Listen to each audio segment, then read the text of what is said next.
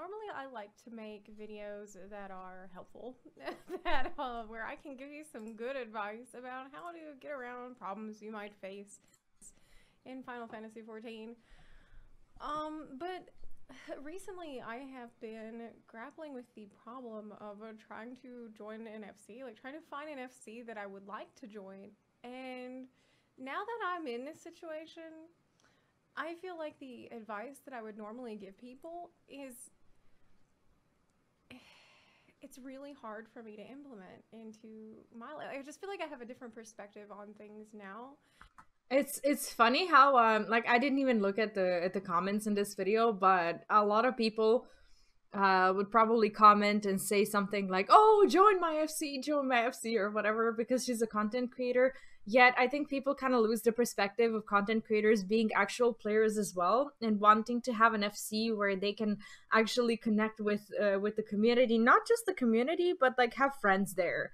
Um I really like my friends within uh within my FC and I don't like at least that's that's kind of the way I see things. I don't um I don't ever try to I don't know, put myself on a on some sort of pedestal or anything like that. I don't I don't do these things with my community obviously, and I don't think anyone should. Like for me, my FC is is my community of friends who I will play on stream, who I'll play off stream, and uh, it doesn't matter like it doesn't matter who they are or or what they like to do it's uh it's like you really want to be friends with someone and I, I'm I'm glad that I started um with RFC uh well before I even legitimately started streaming FF because I I have this opportunity to actually have friends without feeling like if I join an FC um they're gonna see me as a content creator or whatever like I feel comfortable because because there's already a group of friends that isn't a closed circle. Everyone's always welcome to join us. And I just, I just, I just feel comfortable there because people don't look at me as a, you know, as a content creator. They know I am one, but like I just, I just like to, to have friends there. Okay, so normally, and if you watch the channel, you probably heard me say it time and time again, like, hey, if you're looking for an FC, all you have to do is head on down to the community finder and look for any FC. There's so many FCs on your server. You can join any FC and you can just get in it, join it. If you don't like it, leave and then join a new one. And if you don't like that one, leave and join a new one. It's no problem. There's so many choices for you. That's normally what I would say. Okay, I've said it a lot. Um, but now that I have to do this, this seems a lot easier said than done, right? Like now I'm looking at the community finder and I almost feel like that's that seems like more hassle than just not joining any. I'm like trying to rationalize. I get that. Like, Why the hell do I even want to join an FC? Because I'm I'm looking at the community finder, and I am overanalyzing FCs. I am like looking hard at the screenshots that people are posting, and I'm like, uh, are there not any other buddies. I, I didn't realize that people actually do this. I, I, I didn't realize that like I have to have like a if I want to post my FC on the community finder that it's a legitimate CV that you know we have to have like cool screenshots and descriptions and whatnot. Maybe I should try harder with that. or I'm reading the post and I'm like, is this is that an inside joke that they just said? Like, do they have a lot of inside jokes? And maybe they have all these inside jokes, so they're like really clicky, and so I wouldn't fit. I don't know. And then another one that's like, oh well, here's like not a lot of active players in it, and so maybe it's really small and close knit, and so they wouldn't want me to join. Like, oh, obviously, I'm gonna bring my buns. I'm gonna have my buns out. Which FC would let me have my buns out in it? Um, well, there probably are some. Uh, you, those you'd have to find in the fellowship finder. We'll talk about in a minute. Uh, but yeah, I see some that are like, oh, lots and lots of active members. This is a giant FC. And I'm like, well, if there's so many people, like, it was, would it even really feel like an FC? Would it be like one of those massive guilds in WoW that, that you like, you get invited to immediately when you make a character? Yeah, I, like do, I don't huge, like those. Huge guilds and nobody knows each other and they're all just using the guild for the FC buffs and like, it's, it doesn't really feel like a community. And then there's some that look really promising. It's like, oh, we run lots of FC events and everybody can meet each other and hang out at our FC events. And I'm like, oh, well, that seems pretty hands on. You know, they've got a lot scheduled, a lot, a lot going on for their FC. They're interested in getting people to meet each other. That's great. But what if I just don't like feel like it one day? like, what if they have an event and I don't really want to go or I'm busy? Like, am I going to be ostracized that? Like, am I going to be seen as like, oh, she's antisocial. She doesn't want to take part of it. As you can see, like, obviously, there are a million. I think she's overthinking this a little bit. Like, I, I think people, um, I think people are uh, uh, people do care what others do, but I think people are entirely too selfish as creatures to ever look into other people's behavior in this way. People just want to join for themselves or or want to not join for themselves and you know have fun and no one really looks into why someone didn't really join an event. Maybe uh, from the perspective of a content creator, maybe someone would be like, "Oh, she doesn't want to join our events because she's a content creator and she's above that," you know, whatever. but I really don't. I, I I don't think that would ever be the thing. Million, million, million different worries, concerns, and eh, worst case scenarios that I'm imagining. I'm, I'm thinking back to the time I heard someone tell me one time that their FC leader forced everybody to wear a maid outfit and pose in front of FC House for the picture that goes on the Community Finder website to advertise their FC everybody had to wear the outfit. Everybody had to have it dyed the same color. And this person that was telling us to me said, well, they didn't really want to wear the maid outfit. and they didn't really want to be in the picture.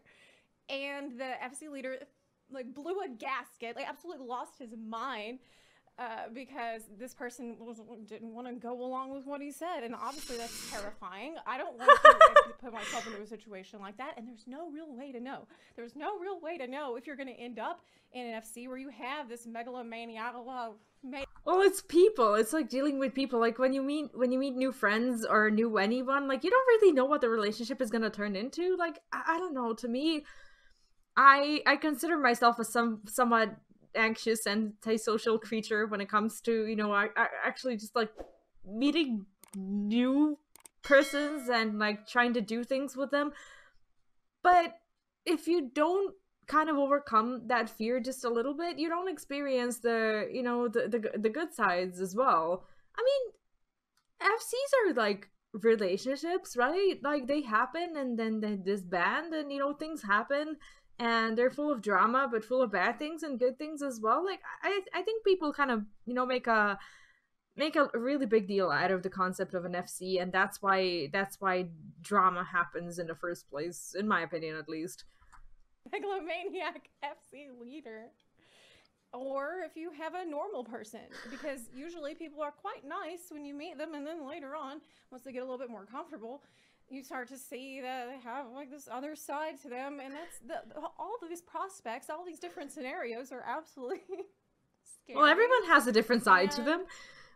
I feel like it's hard it's it's difficult to even give any a try. It's difficult to even take that step.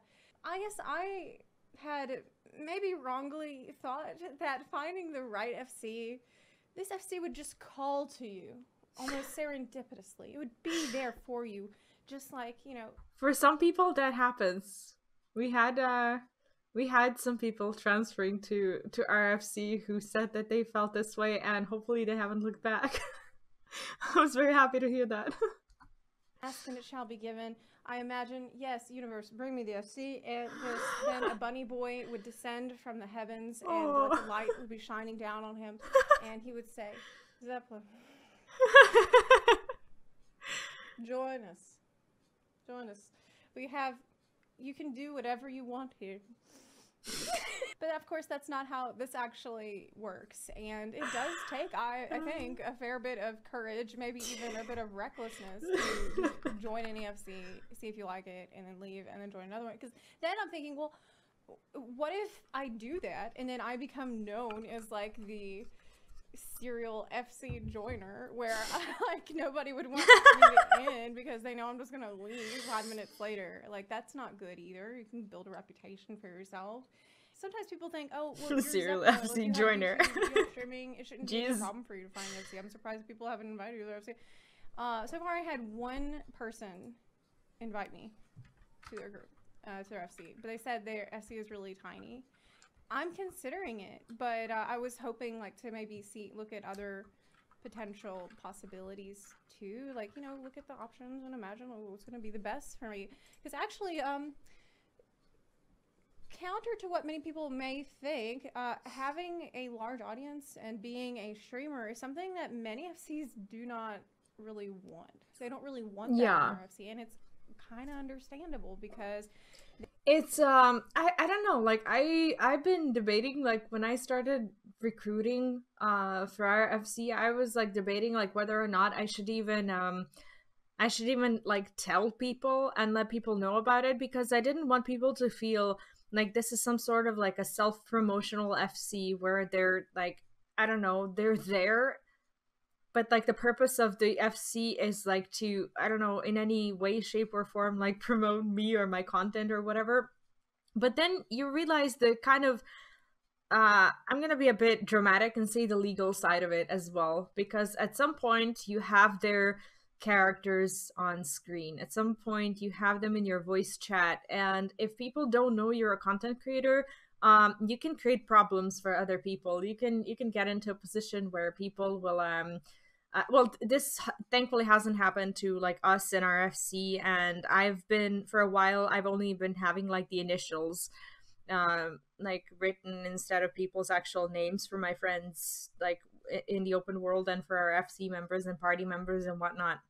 But like sometimes like there are some weird people out there and sometimes people will get stalked and i don't want anyone to get stalked because of me or i don't want anyone to like instead of approaching me for people to think that they should be approaching these people and like i don't know ask questions or even ask if they could like join. Sure yeah you can you can ask people if they can join but we have uh I, i'm pretty sure we have like two um officers that I can also approve the you know the memberships and whatnot. They can contact me on discord. I reply to my dms they could like i'm very open when it comes to that and i see no reason why any other person who may not be comfortable with it would get stalked because of that. So you kind of have to tell people. And even when we have people joining from the group finder like i always like regardless of the fact that some might see it as a you know a promotional thing or whatever like i don't want it to seem that way but at the same time like i have to tell them that i'm streaming uh, because of their voice because someone just doesn't want to have their voice on stream and that's totally fine but like i can't block their particular voice for me to hear but for other people not to hear so they don't want their small, close knit FC to suddenly become, oh, that's the streamer's FC, right? They don't want their um, their vibe or their culture to change because of a streamer content creator joining that FC. And uh, there are other content creators who have managed to work around this or they have leadership for their FCs that are like all on board and are fully supportive and everybody's happy with it. But me, like, I, I don't know if I would feel comfortable joining an FC and then potentially changing the culture um, in a way that they might not be ready for, even if they invite me. I, I don't know if they're fully ready for that. So obviously, I'm overthinking this, uh, but uh, maybe not. Maybe these are things that I need to keep in mind. So weirdly, in, in some ways, being a content creator has been a little bit um, isolating in the search for an FC. And these are just extra considerations that I have to have in mind. But all that aside, all this content creator stuff aside, I am now experiencing uh, what it's really like for people that have often asked me for advice on how to join an FC, and I gave them the standard advice without actually being in their shoes. And now I have this different perspective, and I, I feel you. Like, I feel your pain. I understand, like, being paralyzed with the indecision and having all these worries. And I really just wanted to talk about it. So I don't know how helpful this is going to be, but I I wanted to maybe I feel like the- some of i feel like this was like a really long intro for a guide on how to do it the concerns that some of you have had uh, when I gave my standard advice over the years. Because I mean, I I always had an FC, but um, I tried to run the channel FC for a while. It ended up being just too unwieldy. I don't have time to run one. For people that are like, well, why don't you just make your own FC? I, I tried that. It was very bad. I, I'm not a good FC leader. I don't have time to deal with it. Being an FC leader takes tremendous amount of time and effort if you want That's to true. be good. And I, I don't have that. And like having people who you can trust who are willing to just kind of take a little bit of that load for you as well is is just is just freaking invaluable. And you guys have been so amazing at that. Like I, I see people, you know, running their own events and just kind of you know not needing me as much anymore. And I just kind of like to be, uh, like yeah, I created the FC, but I don't like being called like the FC leader because I don't like I don't like leading people into into content necessarily. Um, I like organizing events, but I also like seeing the people I'm like connect amongst themselves as well. And it's it's sometimes even nice for me to like see you guys like you know run different things and i'm not there. And it's just it's just nice knowing that this community has helped people you know make other friends and just like connect in ways that are not connected to me. So that that feels pretty good. Time. So it's just not something i can put on other people. And i would prefer to just you know join and be just another bun right? So lots to think about. Previously, like for the past year, I had pretty much just been sitting in a dead FC. That's what I've been doing for the past year. But with Endwalker coming out and like something about maybe like how emotionally broken I got from Endwalker that it made me want to join an FC because I need like shoulders to cry on and like it just made me want to talk about I get that. that happened more with people every day in the FC chat so that's where I am, and I just want to say, you know, people looking for FCs, I feel you, I feel you. But um, there are things that the game makes harder. Okay, searching for the right one is hard enough, as we've been over, but the game itself makes this so much harder than it needs to be because of the lack of really good tools to use in game to either advertise your FC or search for an FC it is like the system of looking for one or advertising. This is actually constructive feedback for for the devs. I'm glad that she included this in the video. Advertising your FC is complete. It is so so so bad. Like right now, people are using the uh, party finder in the other tab if you're advertising or looking, and uh, I imagine there's a lot of people, especially new players, who don't know to look there. And when you are doing that, you have to w- just wait like you can't do anything. You can't join another party. You can't do instance content. You can just like yeah. do fate farming and crafting, I guess, until you're done advertising. And it's just, it's not good. There's the fellowship finder, but it's pretty much just a bulletin board. It is most helpful to think of it as a Discord link finder. so maybe if an FC, but their Discord link there, that could be helpful. I don't know if it's just something about Phoenix, but on my server, our fellowship finder is filled with uh, kink groups. Like I learned what male macro kink meant because I, I don't know anything about this. What is this? As I was looking for an FC in the fellowship finder. I didn't join anything. I didn't go to any link. I'm just searching through Fellowship Finder and I'm learning about all kinds of different kinks that people have because there's a fellowship for each one. it's all there. Uh, and that's fine. Like, to, don't get me wrong. I, am not kink shaming. Like, whatever kink people have is fine. I never even like I, I never even knew that was there. I have to go and look at that. fine. That's okay. And if they can use Fellowship Finder to fight each other, that's fantastic. But I'm just saying that's not. Uh, it's more it's like fetish finder. That's not what I was there for, okay? I was not there for that. That's all I'm trying to say. I was there looking for FC. Uh, so, I mean, going through all this, I just started asking myself, like, like, do I need an FC at all? Like, I'm convincing myself, the longer this process goes on, the more I'm convincing myself, I don't think I do. I don't okay, like I have the Discord server. I have YouTube comments, chat. We have um, Twitch chat. We have uh, the Discord server. Did I mention the Discord server? Static server. Um, and uh, sounds like she already has an FC without having one. I for XP buffs, I have squadron manuals. I have squadron battle manuals. Don't need an FC for that. So uh, probably wouldn't go to any events, but I mean, it is nice to be invited. I guess you know. I guess what it really all comes down to is I want those speed boosts in the city.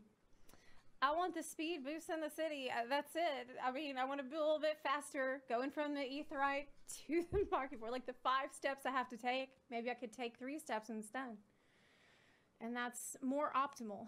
I really wish that I, I could wrap up this video with a pretty bow that's like, so I've learned from my journey that the best way to find an FC is to literally go to their FC house and go into their house and just wait, just wait inside until That's so creepy. "Hey, what are you doing in our house? And you're like, I live here already. and I'm like, you're not in our FC. And you're like, what are you talking about? I'm totally in your FC. You could do. Uh, didn't George do that on Seinfeld? Uh, one time where he just pre- like pretended to work there at a business that he didn't really work there. Well, I'll just pretend. Fake it till you make it, baby. That's what I'll do. Anyway, I hope that in some way this video was um, enlightening. Um, was entertaining. maybe a little- if you're going through this or if you have gone through this, if you have some words of encouragement, words of wisdom for me uh, in the comments section below. If you like this video, consider supporting the channel on Patreon or on Twitch. You can also support the channel for free just by clicking that subscribe button or by sharing this video with your fellow Loperates. Maybe we'll just do a different one every time, right? Anyway, thank you so much for watching, and I'll see you next time. Bye. that was a good video. I I kind of I kind of I don't know feel for her because um because it's it's a lonely journey and like from my perspective at least when you're a content creator you just kind of want to you just kind of want to have a good time just like everyone else. But at the same time you don't want to freak people out. And you want to be able to organize events and participate in them but at the same time you want to you want people to be okay with you not having enough time.